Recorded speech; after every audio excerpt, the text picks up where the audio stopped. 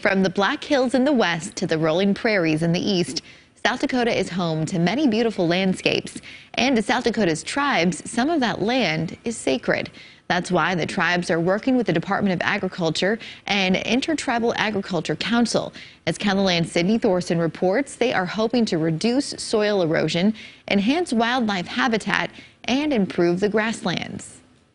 While the South Dakota reservations are filled with beautiful landscapes, it's important that they are preserved. We have a lot of land that's probably been overused in, in, for, for years. That's why today officials from Farm Service Agency, Natural Resource Conservation Service, and the Intertribal Agriculture Council are here. This um, historic agreement is a way for us to extend support and really build from our shared commitment to conservation and stewardship of the land and water that we all depend on. There are also representatives from the Oglala Sioux Tribe, Cheyenne River Sioux Tribe, and Chairman Scott Herman with the Rosebud Sioux Tribe.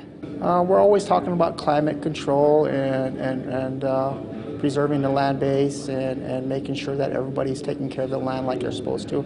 I think it's going to make a lot of people and the operators a little bit easier, but about taking care of the land and doing their part. So now that the tribes had the opportunity to enroll into the Conservation Reserve Enhancement Program, their sacred land could see improvements in the future. Which will really facilitate opening up some of USDA's conservation programs to um, both tribal lands and land owned by tribal members. In Rapid City, Sydney Thorson, KELOLAND News. Sign up for the Conservation Reserve Enhancement Program will start in the next few weeks for tribal lands. The event today was hosted at Western Dakota Technical Institute.